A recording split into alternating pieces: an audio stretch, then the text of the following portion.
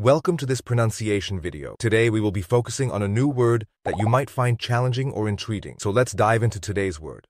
Hectare, which means, A metric unit of area equal to 10,000 square meters. let's say it all together. Hectare. Hectare. Hectare. One more time. Hectare. Hectare. Hectare. Thank you for joining us on this adventure in pronunciation. Remember, language is a journey, not a destination. Keep exploring, experimenting, and expanding your linguistic horizons. We'll see you next time.